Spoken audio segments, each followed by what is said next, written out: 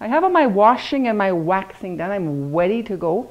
And I'm ready for glazing. And notice as I washed and waxed, I stacked them wax to wax and rim to rim. If you stack your plates the way you normally would, you're going to get wax on the inside.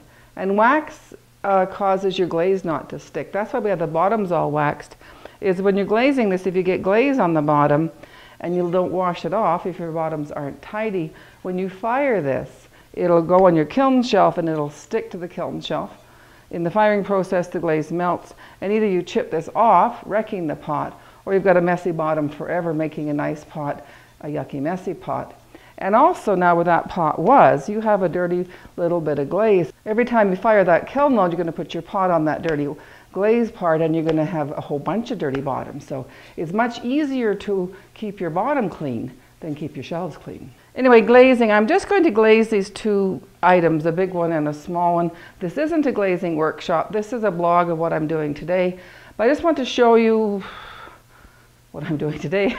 I'm going to glaze a big one, a little one. I'm going to show you I have these, these dipping tongs made by my friendly farmer friend.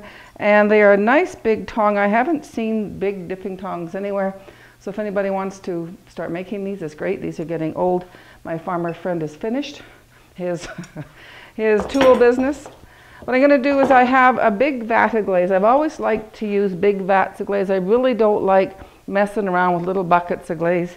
I have a large drill and I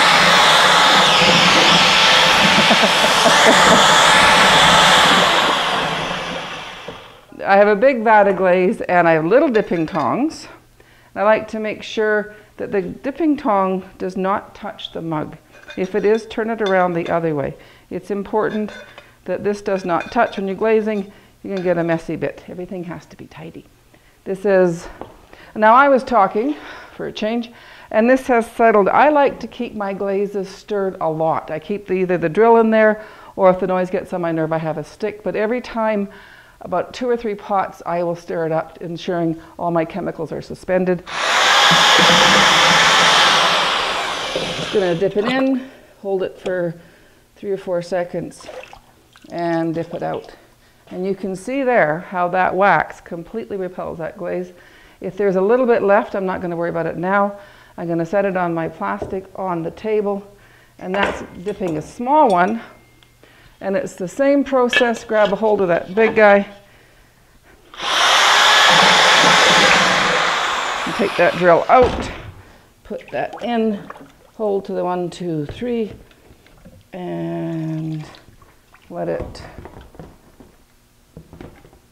stay. Again, you can see it's almost completely clean. I'm not going to bother to wash that now, but I'm going to turn it upside down. I used to use paper on the table for years, but I was throwing away rolls and reams of paper. Put the plastic down, wash it when it needs it. It's a lot more environmentally friendly. And now that we're living in Coutts, an hour or two hours away from anything, it's a lot easier to wash that than drive and get a big roll of paper. I'm just kind of pausing for a moment. Normally I would let these completely change color. I would finish all this glazing and then wash, but I want to show you just how easy that is. This is soft, but I can touch it to make sure it is absolutely, completely tidy and free of glaze. Now when you put it down, don't put it where it was when you left the little glaze on the table.